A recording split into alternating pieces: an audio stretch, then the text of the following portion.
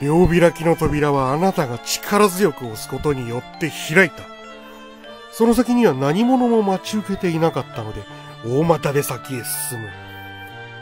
しばらく進むと、一人の人間の女がブラシで床を磨いている場所に通りかかった。女はあなたを一別したが、すぐに無視して一心不乱に床を磨き続けている。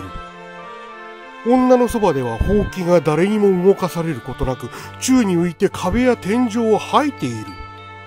こちらも一瞬動きを止めたが、あなたに襲いかかってくることもなく掃除を続けている。敵の中枢と思われる場所で何とも不思議な場所に出会ったものだが、あなたはどうするか？